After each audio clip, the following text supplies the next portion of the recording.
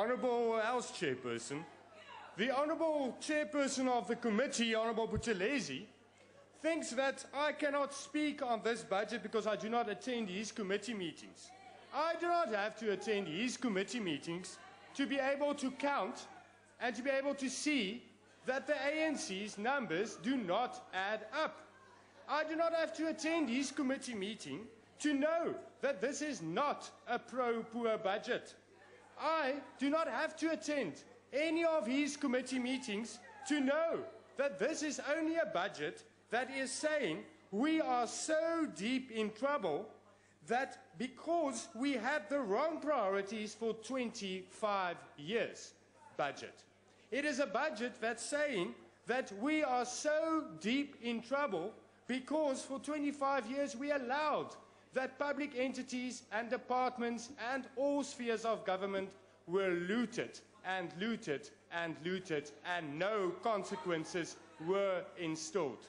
That is what I know and what South Africans out there can see without attending your appropriations committee. Why is there under expenditure in the most important conditional grants and in grants that are aimed to actually do what is necessary to turn around our economy and improve the livelihoods of South Africans? The Honourable Buthelezi says it's not because there's a lack of will. I'm glad to hear that. But he says there's a lack of capacity. Why is there a lack of capacity? Is it something that magically appeared?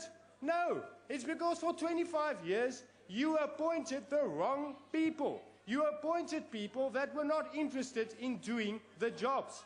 This, this budget aims at cost containment, but it's too late. Honourable House Chair, the Honourable, and I said this in a previous speech, but the Honourable Jackson Mtembu was not in the House.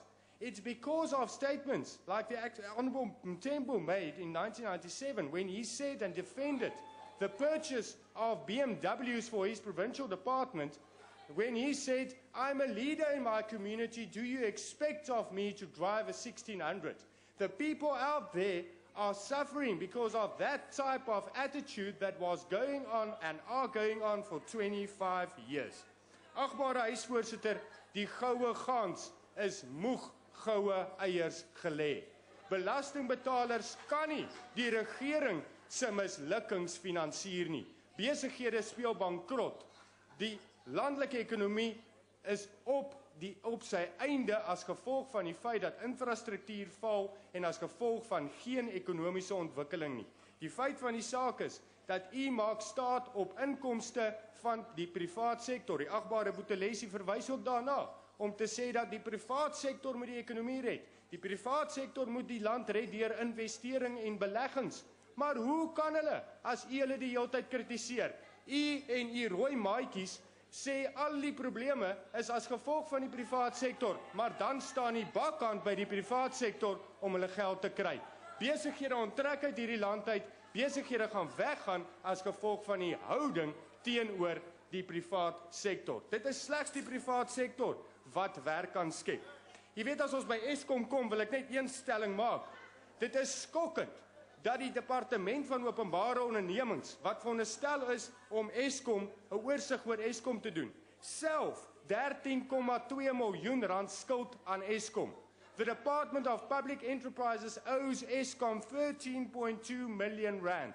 That is unacceptable. You owe yourself money and you don't pay your outstanding debt. That is why our entities are failing and that is why this economy will not be saved unless Honourable member, your time is now expired. and you become a responsible government. I thank you.